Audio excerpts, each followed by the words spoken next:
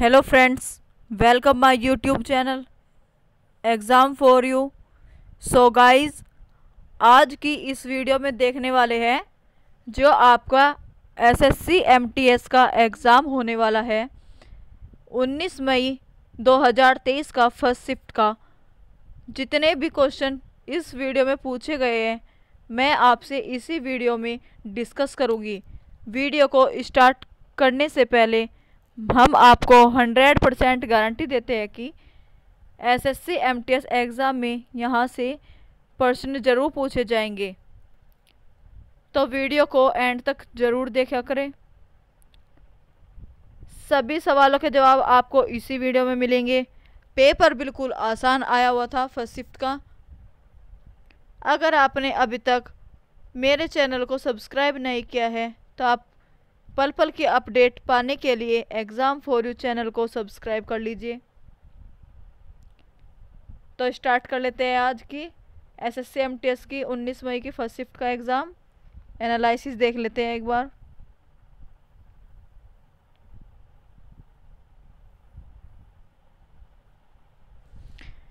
पंडित बिरजू महाराज को 1986 में कौन सा पुरस्कार मिला था? ये मिला था आपका पदम पद्म भूषण उन्नीस सौ छियासी में। नेक्स्ट देख लेते हैं।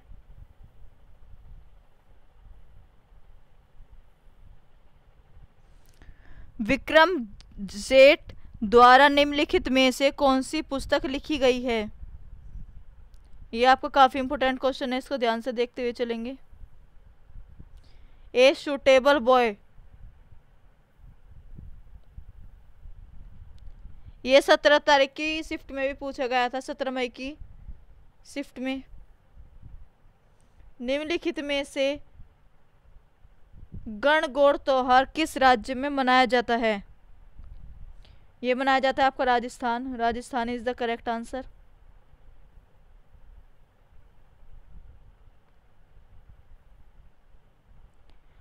उन्नीस सौ इक्यावन में भूदान आंदोलन या भूमि उपहार आंदोलन किसने शुरू किया था? बिनोवा भावे ने अप्रैल उन्नीस सौ इक्यावन में की थी बुनाद भूदान ये भूदान है। आंदोलन की शुरुआत तेलंगाना के पोचमपाली से शुरू हुई थी। ये आपका दो क्वेश्चन बन गए इसमें। तो आप क्वेश्चन को ध्यान से पढ़ते चलेंगे। अगर आपको वीडियो अच्छी लग रही है, आप लाइक करें शेयर करें और एग्ज़ाम फॉर यू चैनल को सब्सक्राइब ज़रूर कर लें। आपको हर एक एग्ज़ाम का एनालिसिस हर एक एग्ज़ाम की कट ऑफ़ और डेली की करंट अफेयर आपको एग्ज़ाम फॉर यू चैनल पर ही मिलेगी। हमारा टेलीग्राम ग्रुप भी है और व्हाट्सअप ग्रुप भी। हम उसका लिंक आपको वीडियो के एंड में ज़रूर देंगे। तो आप जल्दी से जल्दी जाकर ज्वाइन ज़रूर कर लीजिएगा, जिससे आपको हर एक वीडियो का एनालिसिस हर एक प्रकार की अपडेट आपको मिलती रहे। तो नेक्स्ट देख लेते हैं क्या बन रहा है। बिरजू, पंडित बिरजू महाराज किस नृत्य से संबंधित थे? ये थे आपके कथक से।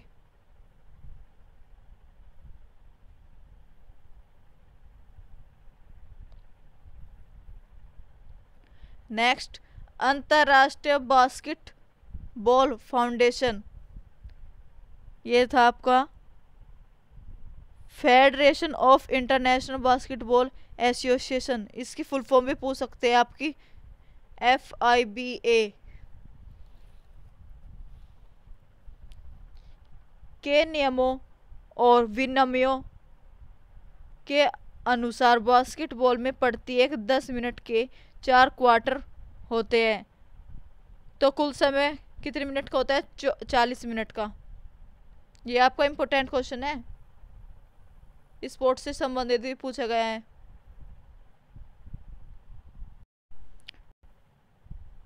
नेक्स्ट देख लेते हैं।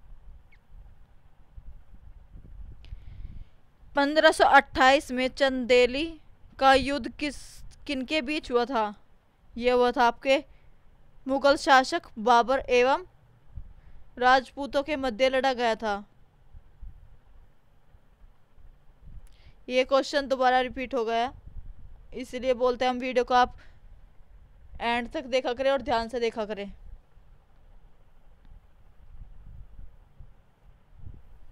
अब पूछा गया है, किस भौतिक राशि का मात्रा कुलाम प्रति सेकंड होता है? ये होता है आपका करंट।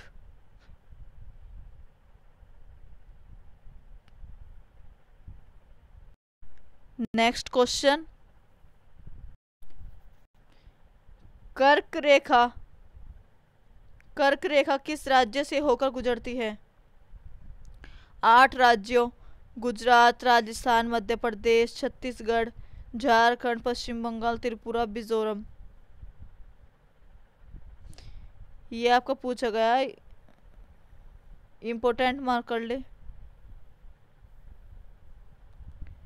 हम आपको इसी वीडियो में हर एक क्वेश्चन को विद प्रूफ कराते आपको। हम आपको हर एक क्वेश्चन विद फैक्ट्स कराते हैं। तो हम आपसे इसी वीडियो में हर एक क्वेश्चन डिस्कस करते हैं, करेंगे। जो भी आपका क्वेश्चन हो, आप हमसे डिस्कस ज़रूर करें कमेंट बॉक्स में।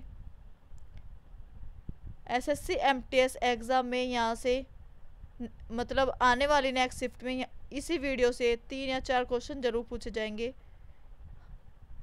अगर आपने अभी तक हमारे चैनल को सब्सक्राइब नहीं किया है एग्ज़ाम फॉर यू चैनल को तो पल पल के अपडेट पाने के लिए एग्ज़ाम फॉर यू चैनल को सब्सक्राइब कर लीजिए। नेक्स्ट देख लेते क्या बन रहा है। कनाडा के संविधान से भारत संविधान में क्या लिया गया है? ये लिया गया आपका अवशिष्ट अधिकार विच, का विचार कनाडा के संविधान से लिया गया है। ओ सॉरी यूएसए ओपन पुरुष एकल विजेता 2022 का खिताब किसने जीता है? Spain Carlos Alcaraz.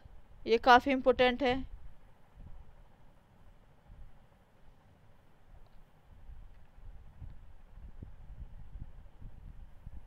आप पूछा गया, आपका शो मंडल की धरातल से ऊंचाई कितनी है? यह चौदह किलोमीटर। माइक्रोसॉफ्ट तीन सौ पैंसठ विंडोज़ को बंद करने का शॉर्टकट की क्या है? ये आपका कंट्रोल प्लस एफ़ फोर।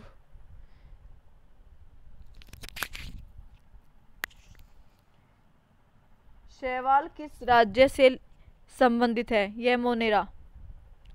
ये आपका बायोलॉजी से संबंधित पूछा गया।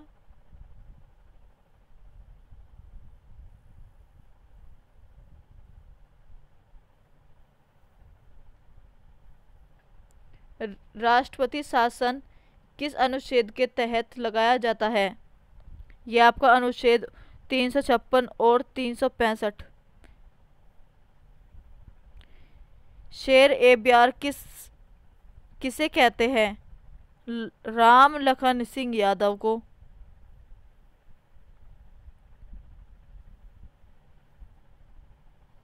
तो दोस्तों, ये थे आपके एसएससी एमटीएस तेरह मई 2023 की फ़र्स्ट शिफ्ट का एनालिसिस जितने भी हमारे पास बच्चों ने क्वेश्चन सेंड किए हमने आपके लिए एनालिसिस लाए हैं।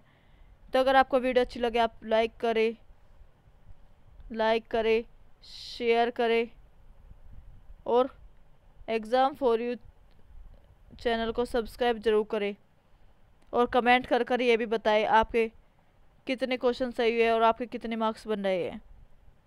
तो वीडियो देखने के लिए बहुत बहुत धन्यवाद। मिलते हैं नए वीडियो के साथ। तब तक के लिए बाय बाय टेक केयर